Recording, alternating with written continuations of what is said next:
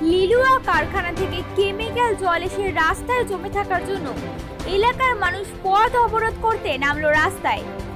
হাওড়া লিলুয়া থানার অন্তর্গত পটুয়াপাড়া এলাকায় দীর্ঘদিন ধরে ভারী বর্ষণের জের এলাকায় জল জমে থাকায় ও বিভিন্ন কারখানা থেকে কেমিক্যাল জল এসে রাস্তায় জমে থাকার জন্য এলাকার মানুষেরা দীর্ঘদিন ধরে সমস্যায় পড়ছে।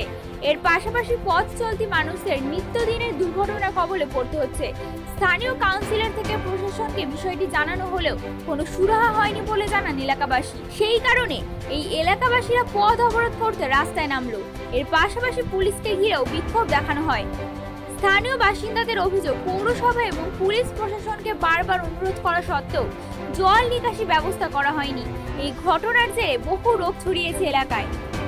এখানকার পৌরসভা অঞ্চলের আমাদের তেষট্টি নম্বর ওয়ার্ডের চূড়ান্ত অব্যবস্থা, জল নিকাশি ব্যবস্থার একদম মানে চূড়ান্ত খারাপ অবস্থা, বেহাল দশা যাকে বলে। সেই অবস্থার জন্য কোনো প্রশাসনের কোনো হেলদোল নেই। তাই জন্য আমরা লাস্টে কিছু কোনো উপায় না পেয়ে নিরুপায় হয়ে আমরা আজকে এই অবরোধটা করলাম। ঠিক আছে অবরোধ চলছে কি কাউন্সিলরেরও দেখা নেই। কাউন্সিল যদিও কাউন্সিলর নেই আমাদের এখানে গত দু বছর ধরে কোনো কাউন্সিলর নেই। কোনো প্রশাসনের কারণ দেখা নেই। ঠিক আছে, কিন্তু আগে যিনি এক্স এক্স কাউন্সিলর যিনি ছিলেন হ্যাঁ তাকেও তিনিও এলাকারই বাসিন্দা। হ্যাঁ হতে পারে তার একটু কষ্টটা কম কারণ তার বাড়ির সামনে জলটা জমে না বা কিন্তু তিনি এই রাস্তা দিয়ে রেগুলার যাতায়াত করেন। তো ওই রাস্তা সম্বন্ধে ওনার আমি কি বলছি কাউন্সিলর তো এই রাস্তা দিয়ে রোজ যাতায়াত করছে।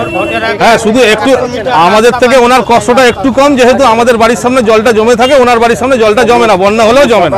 সমস্ত ওয়ার্ড বাসিন্দাদের। পুরো সবার কারোর একার কাউন্সিলর মত নির্বিশেষে আজকে আমরা এখানে এক জায়গায় এই কারণে উপস্থিত হতে বাধ্য হয়েছি অবরোধ করতে বাধ্য হয়েছি কারণ প্রশাসন কোনো কথা কানে তুলছে না। যাতে প্রশাসন আপনি- কাছে আপনাদের মাধ্যমে কথা পৌঁছয় তাই আমরা এখানে ইনফ্যাক্ট আপনি ইনফ্যাক্ট আপনি পুরো লিলুয়ার। বাকি যত ওয়ার্ড আছে সব ওয়ার্ড ঘুরে দেখতে পারেন। সব জায়গায় কিছু না কিছু রাস্তার কাজ হচ্ছে। কিন্তু আমাদের এখানে কোনো কাজ হয়নি। সামান্য ইট পর্যন্ত ফেলেনি এখনও পর্যন্ত।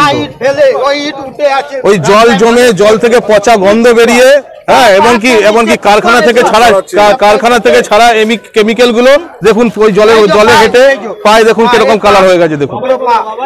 ঠিক আছে? এই পা আগে ওইখানে আমরা অবরোধ করেছিলাম রাস্তা বানিয়েছে আটলি একশো মিটার। আমাদের মিটার রাস্তা কিছুদিন- বানিয়ে ছেড়ে দিয়েছে। তাও ইট উঠে উঠে গাড়ি গেলে দু চাকা গাড়ি গেলে লেডিস পড়ছে জেন্টস পড়ছে হাত ভাঙছে মাথা ফাটছে। বড়দের কথা ছেড়ে দিন বড়দের কথা ছেড়ে দিন বাচ্চারা মরে মরে মরে- যাচ্ছে। হাওড়া থেকে সৈকত দাসের রিপোর্ট টাইমস বাংলা।